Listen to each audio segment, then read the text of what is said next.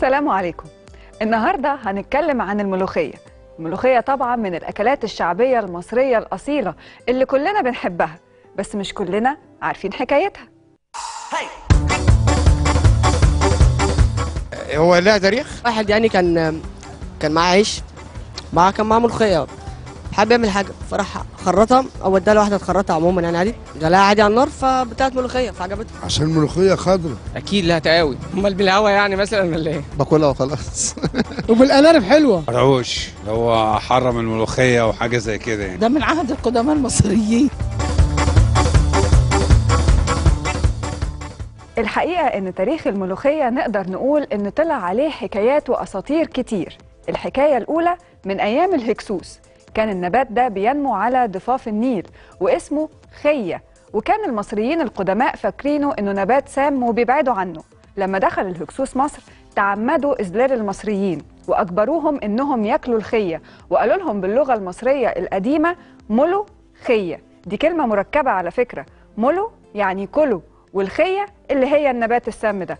وبقى اسمها ملوخية بس لما أكلوها لقوا إن محدش مات منها. بالعكس ده كان طعمها جميل كمان وبقت أكلة مشهورة من وقتها.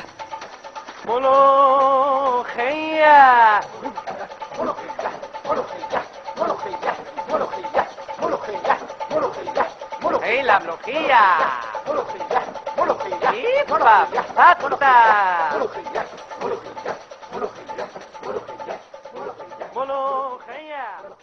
الحكاية التانية بقى عكس الحكاية الأولانية.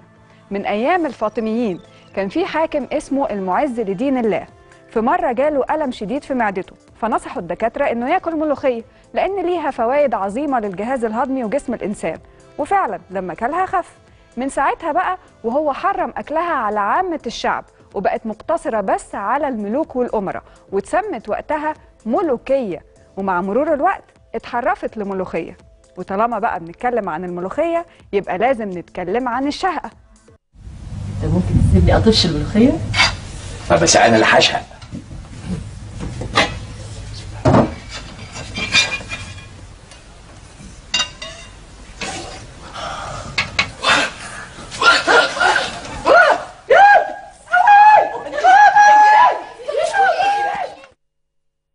الشهقة بقى هي كمان ليها حكايتين. زمان الستات كانوا بيربوا في المطبخ طيور فلما تيجي تحط التقلية في الملوخية كانت بتشهق عشان تبعد الطيور عن الحلة. أما الحكاية التانية إنه كان في طباخ لأحد الملوك اتأخر في عمل الملوخية وسمع إن الملك هيقتله علشان اتأخر في الأكل.